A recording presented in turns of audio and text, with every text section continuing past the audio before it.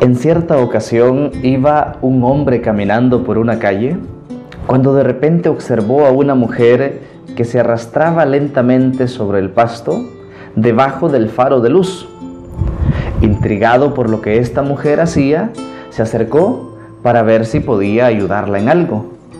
La mujer le explicó que había extraviado sus llaves y que necesitaba encontrarlas. Entonces este hombre muy amablemente se puso junto a ella para ayudarle. Pasó cierto tiempo de búsqueda, pero no lograban encontrarlas. Entonces este hombre quiso indagar un poco más. Pero señora, le dice, ¿está segura que aquí fue donde extravió sus llaves? ¿Recuerda que aquí fue donde se le cayeron? Este, le dice la señora, en realidad no. Las llaves se me cayeron en la calle de enfrente. Entonces el hombre, asombrado y un poco enojado, le dice, pero ¿y entonces qué está haciendo aquí buscando sus llaves si sabe perfectamente que las perdió en la otra calle? Es que resulta, le dice, que aquí hay luz y conozco muy bien el terreno.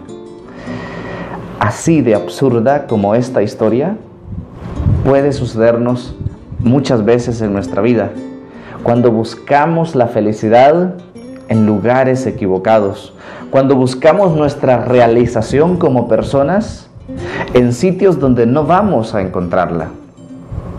El Evangelio de este día nos quiere recordar algo bien importante. Lucas capítulo 5, versículos del 33 al 39. Termina diciendo así, nadie que ha probado vino bueno va a querer tomar vino del viejo. Muchas veces somos esas personas que seguimos tomando el vino viejo. Cuando Dios quiere entregarnos el vino nuevo, quiere llevarnos ahí donde podemos realizarnos plenamente. Preguntémonos cuántas veces hemos buscado en lugares equivocados nuestra realización. ¿Cuántas veces hemos buscado en una sexualidad desenfrenada nuestra felicidad?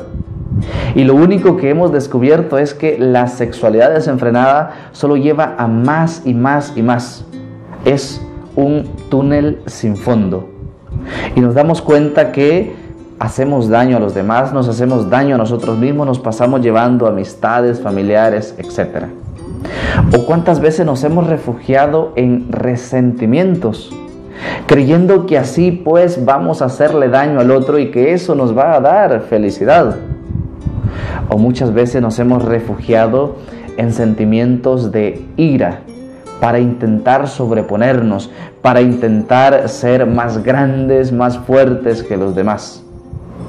O cuántas veces nos hemos refugiado en la tristeza. Cuántas veces nos hemos refugiado en la soledad, en la depresión. Hoy Jesús quiere que dejemos de tomar ese vino viejo para que podamos recibir ese vino nuevo que Él quiere darnos, el vino de su palabra, el vino de su presencia, el vino de los sacramentos. Dejemos de tomar ese vino viejo y acerquémonos a Él, ahí donde vamos a encontrar la verdadera fuente de agua viva. El pecado es como el agua salada, mientras más se bebe, más sed genera.